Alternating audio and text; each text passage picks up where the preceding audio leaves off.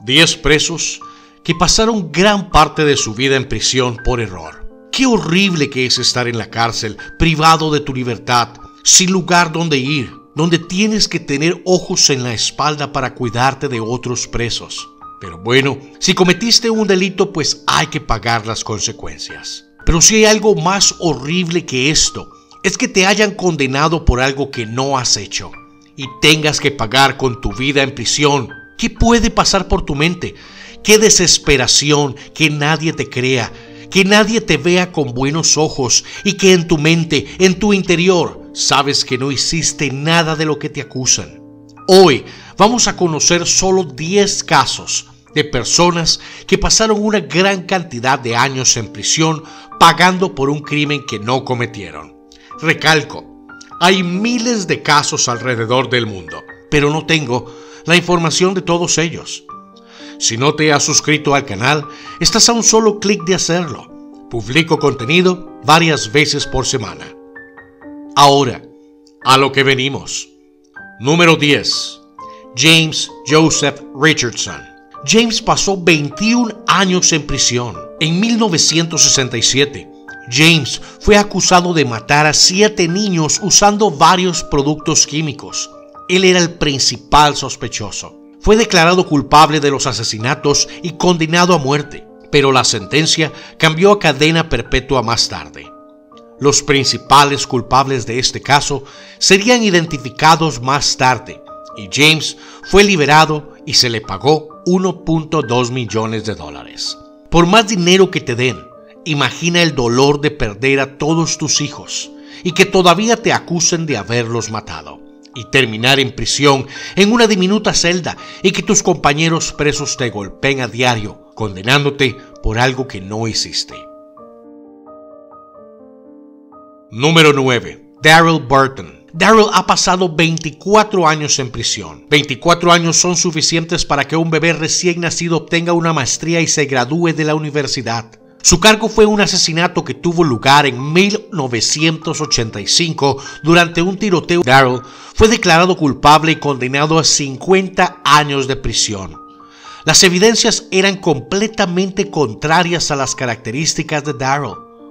Después de casi la mitad de su sentencia en prisión, se prueba su inocencia y fue liberado. El día en que fue liberado fue el mismo día en que Barack Obama se juramentó como presidente. Número 8. Stephen Phillips. La primera persona blanca inocente en la lista es Stephen Phillips, quien pasó 24 años en prisión. Stephen era considerado un gran hombre por quienes lo recordaban. Tenía una familia amorosa y exitosa, pero esta acusación lo arruinó todo. Durante la primera década de Stephen en prisión, su familia creyó en su inocencia y lo visitó varias veces. Pero después de esta primera década, su esposa le pidió el divorcio y la vida de Steven se vino abajo. 24 años después de la condena de Steven, las pruebas de ADN se han abierto camino en las investigaciones policiales. La prueba de ADN vinculó a otro hombre con el caso. Y esta tecnología demostró la inocencia de Steven. Fue liberado y recompensado con 6 millones de dólares. Pero su esposa recibió 2 millones por el divorcio. Número 7. Charles Chapman. Después de cumplir 27 años en prisión, Charles Chapman ocupa el séptimo lugar en la lista de los 10 prisioneros inocentes.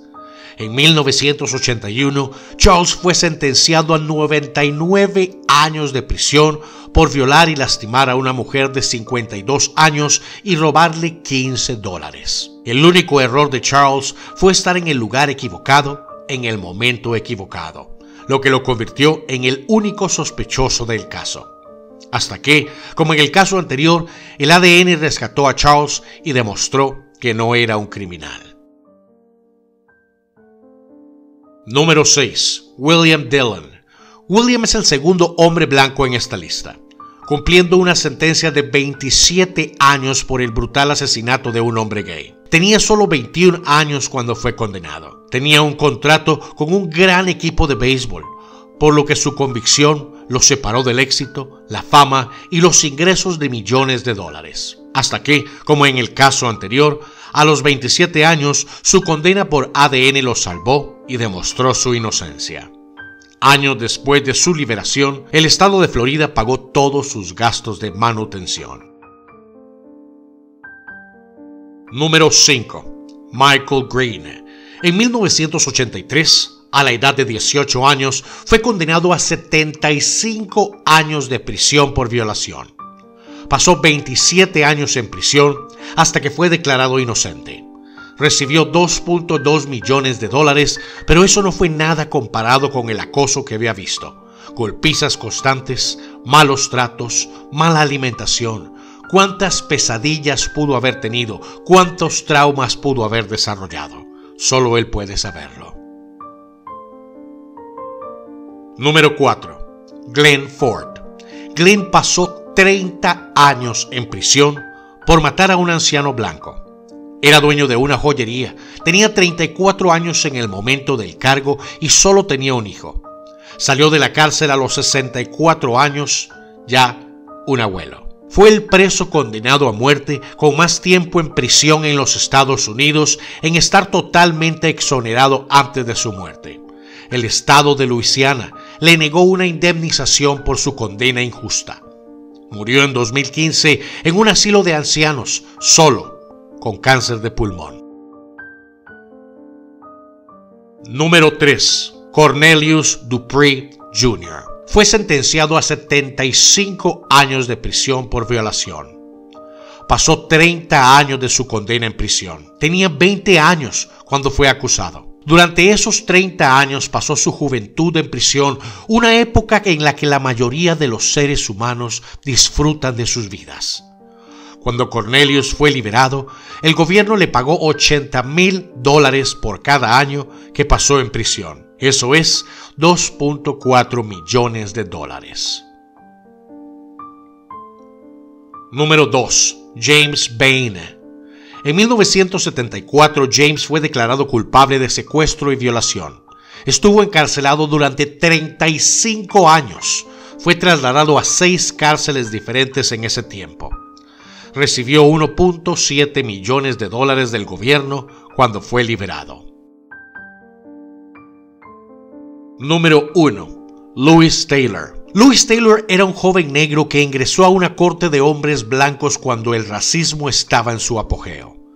Recibió más de 28 cadenas perpetuas por incendiar un hotel y matar a más de 20 personas. A lo largo de su sentencia afirmó que no era culpable y fue condenado injustamente.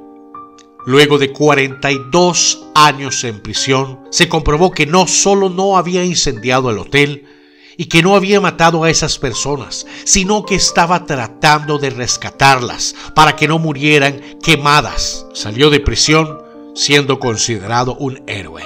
Estos fueron solo 10 presos acusados por error, que pasarían su vida en prisión. Si te gustó el video, ayúdame con un like y compártelo. Buenos días, buenas tardes o buenas noches, donde quiera que estés. Y como siempre, hasta la próxima y saludos aquí desde Costa Rica. Pura vida, mis hermanos.